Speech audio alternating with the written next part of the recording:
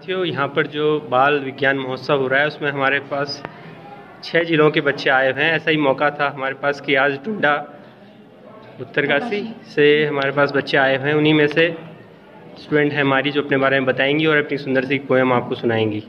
Last year ना, एक पाँच साल के बच्चे के साथ बहुत बुरा बिहेव हुआ उसको एब्यूज़ किया गया था और उसके हाथ पैर तोड़ दिए गए। जब मैंने ये न्यूज़ सुनी तो मेरा मतलब दिमाग घूम गया। मैं रोई भी, जबकि वो मैं उसे जानती भी नहीं थी। तो एट लास्ट मुझे कुछ सोचा नहीं। मैंने सोचा, मैं उसके लिए क्या करूँ? बट शी वॉज़ डेड तो मैंने रोई रोई। मेरे हाथ में पेन और कॉपी थी। मेरे पास उसकी कुछ नहीं हुई। तो मैंने अपनी प्रॉब्लम्स अपनी बे, रुकी, बोलते हैं ना बेवस हो जाता कोई। तो उसको मैंने कागज़ के पन्ने पे लिख दिया और मेरे बस की कुछ नहीं थी।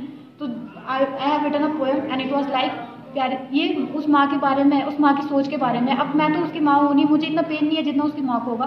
सो मैं उसकी माँ उसकी माँ के दर्द को अपने पोएम में बताना चाह रही हूँ। प्यारी सी गुड़िया थी वो, जादू की पुड़िया थी वो। गुब्बारों से गोलू मोलू, माँ कहती, मन करता मैं हर पल इससे खोलूँ।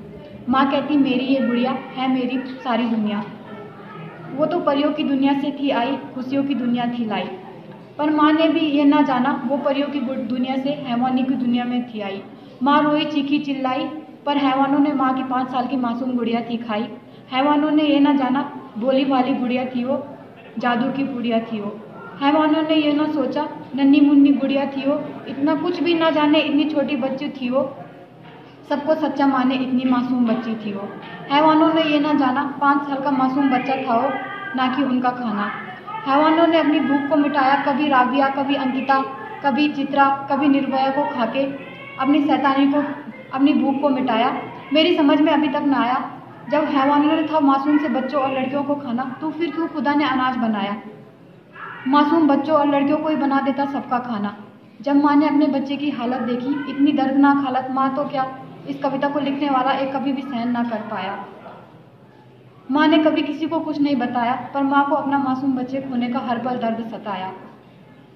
तो मैं ये कहना चाहती हूँ कि आजकल जो ये हो रहा है, इससे मेरे दिल से यही भाव निकल रहा है कि अंधेरा रोशनी को खा रहा है, अंधेरा रोशनी को खा रहा है। मौत का साया मेरे सर पर काले बादल की तरह छा रहा है।